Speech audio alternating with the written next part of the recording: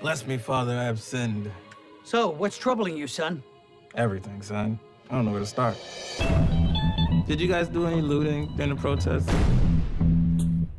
They blame black people for a lot of them places we don't shop at.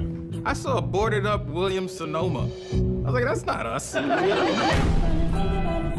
Let's just address the elephant in the room. Policing Satan. Prison stuff. What's your password? White privilege. Might be uncomfortable to watch.